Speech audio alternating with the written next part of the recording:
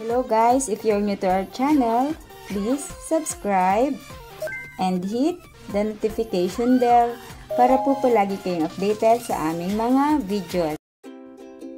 Magandang araw mga ka-SG!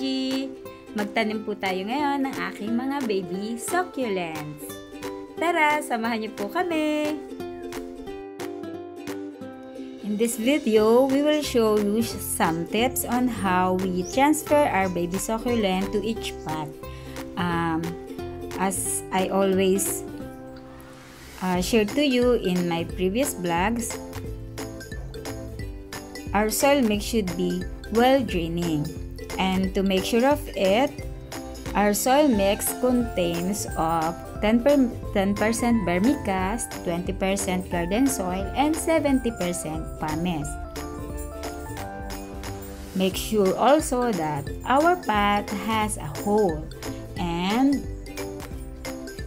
there's also a technique so that our soil mix will not be washed out. We put some rock under the pot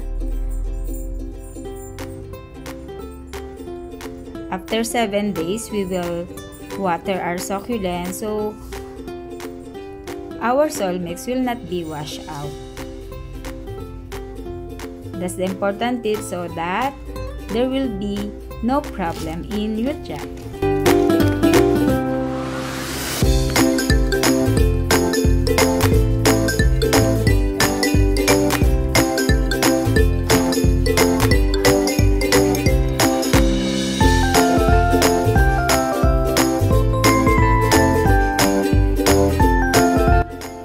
Ready na po natin yung ating mga baby succulents.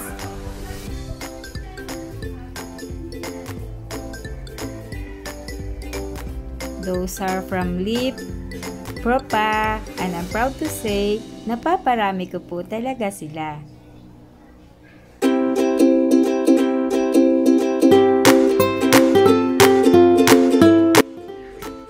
These are my uh, new baby succulents from leaf propagation. As you can see, they are also healthy. Look like a baby rosette, ready for transfer to its pot.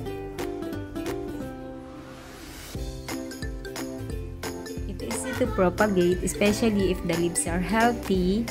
After one week, magro-root na po siya and then a new pop will come. And after 2 months, pwede na po nating i-transfer sa individual pot.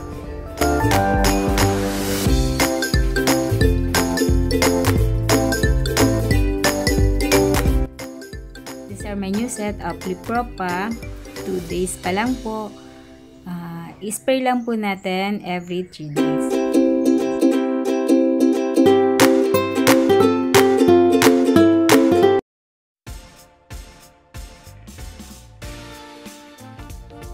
Po, magtanim na po tayo.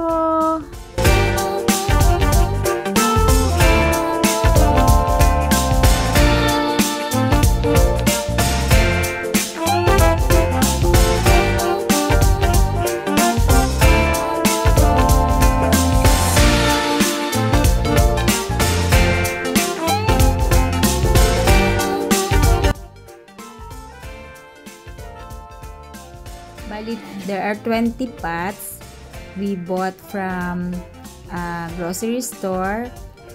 It's 3 pesos and 50 cents each. And hopefully, makasurvive po lahat yung ating mga transfer na succulents. And we will update you after 1 month. That's my next vlog for the updates of 20 baby succulents. Abangan niyo po!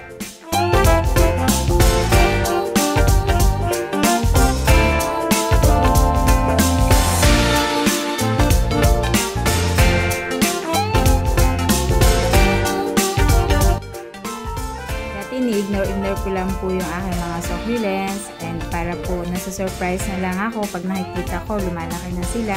Sa ngayon po medyo sinisilip mas madalas ko na silang i-check because of the millibugs. May nakikita po kasi ako pa isa-isa sa aking mga succulents. So, inaagapan ko, tinatanggal ko po kaagad so that hindi na po mahahawa yung iba pa.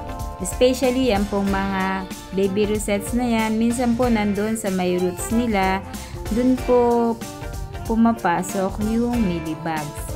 And uh, using a very tiny stick, natatanggal ko naman po and and hindi naman na po sila bumabalik.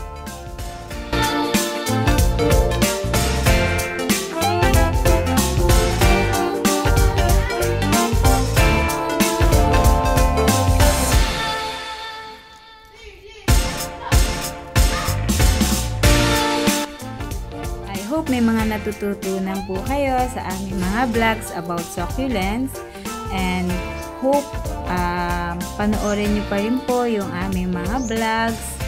Marami pa po ang susunod. To all our subscribers, thank you very much. At sa mga hindi pa po nag-subscribe, subscribe na po.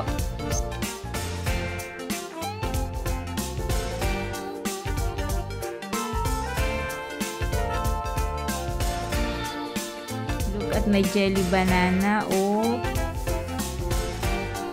there is a baby na kaagad. Ang liit-liit niya pa, may baby na. Paano naman po talagang hindi ako ma-amaze. Nakaka-addict po talaga yung aking mga succulents. I really enjoy it.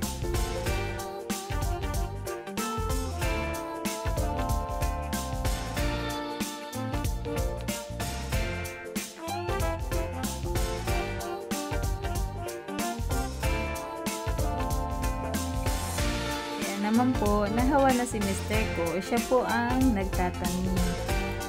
Kasi sabi niya, uh, mas magaling daw po siya magtanim kaysa sa akin. Let us see after one month.